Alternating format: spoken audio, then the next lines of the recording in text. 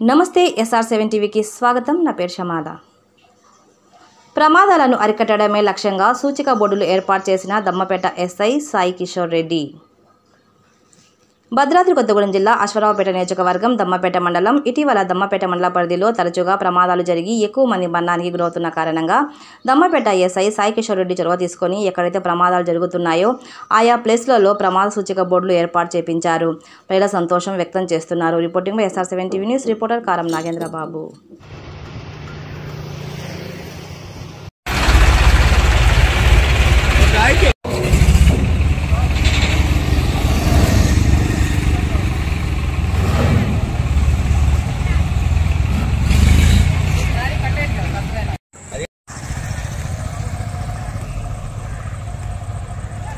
ఏం పడినా మీ బాబాయ్కి మీకే సంబంధం. ఇప్పుడు మీ ఇద్దరికే సంబంధం.